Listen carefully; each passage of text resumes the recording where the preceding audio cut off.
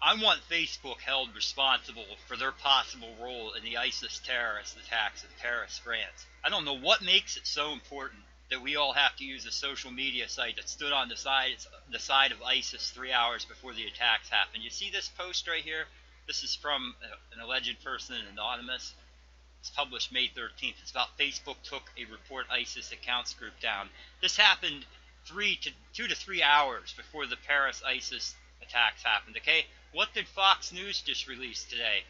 Fox News says right here, separately, Fox News has learned that four credible ISIS-linked social media accounts began sharing 70 messages 72 hours before the Paris attacks.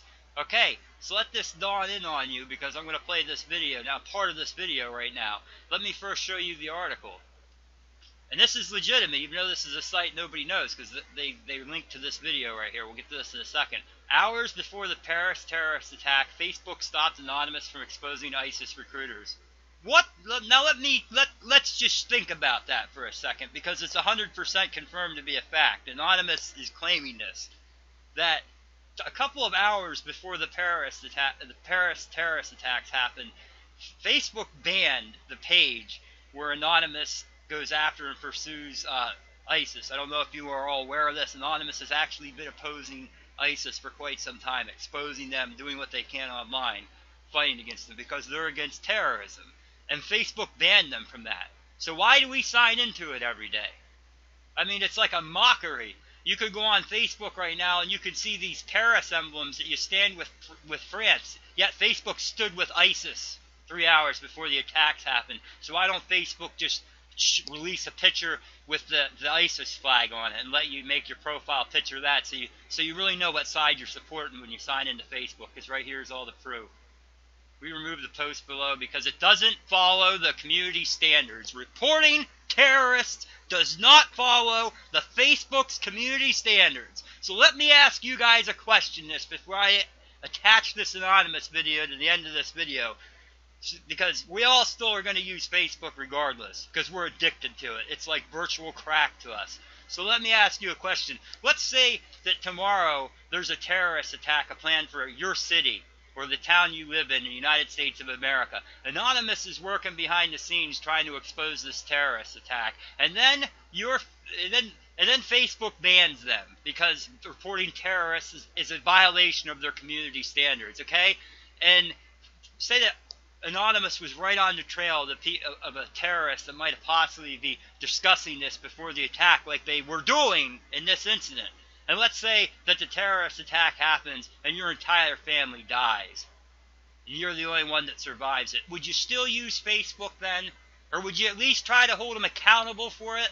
Because we know what Facebook does. Facebook has been known for the last five years to have the most anti-American review staff of any website. And it's hard to beat Twitter, but Facebook definitely takes the cake on that one.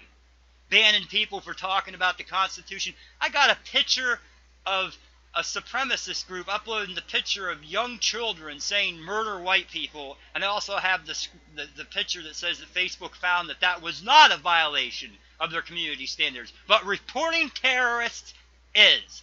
When are we going to hold them accountable? It's ridiculous. Now here's the anonymous video.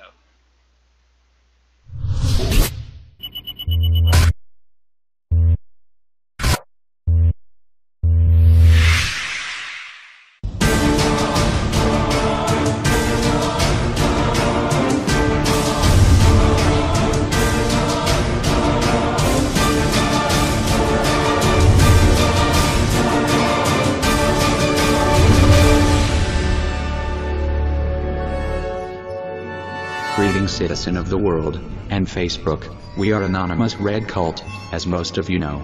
We're engaged in Operation ISIS from some time now, to fight ISIS online in different ways, like taking down ISIS sites, leaking information, exposing ISIS accounts on social media sites. One of our groups on Facebook called Report ISIS Accounts, with the URL www.facebook.com slash groups slash and it's dedicated to post and report ISIS accounts from YouTube, Twitter, Facebook and other social media sites, where we reported and deactivated thousands of accounts, accounts they used to communicate, recruit, and spread ISIS propaganda.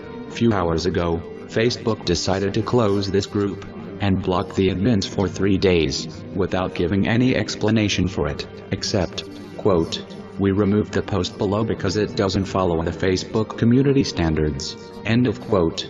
So we asked, is it because ISIS supporters reported us back? And if so, for what reason? Or Facebook is bothered from us reporting terrorists' accounts that violate Facebook community standards anyway, by using fake names and posting inappropriate and violent propaganda that only serve ISIS terrorism. We asked, is this one of the new Facebook policies to protect terrorists' accounts instead of fighting it? Or simply Facebook doesn't care? We leave this for the public opinion to judge this action by Facebook, action that can only be interpreted that Facebook took a wrong decision. Anyway, we will continue our fight on ISIS. We are anonymous. We are legion. We do not forgive. We do not forget. Expect us.